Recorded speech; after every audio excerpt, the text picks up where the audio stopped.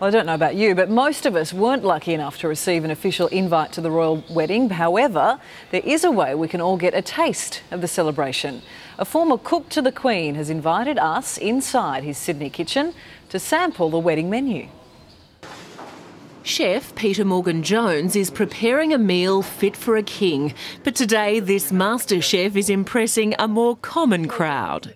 They look amazing, hmm. like little works of art. Oh, that is delicious.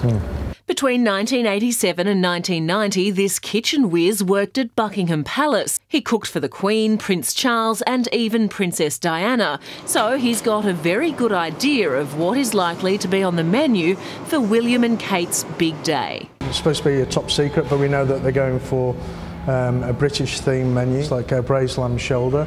That's with a bubble and squeak confit. Here we've got parmesan crisp with uh, goat's cheese and um, ca- caramelised walnuts. Tell me about this one. And this is this is my favourite. I think this is uh, this is Prince William's favourite when he was a kid. It was uh, cottage pie. Peter now works at the Art Gallery of New South Wales restaurant, but keepsakes like original menus from the palace are a reminder of a more magical time. So tell me, with all this delicious food on the menu, how does Kate Middleton stay so slim? Well, I think she'll be dieting beforehand. You don't think there's any of the friands on her menu I don't think there will be now. There might be a couple of quail's eggs for protein? for protein. Yes. Gabrielle Boyle, 10 News.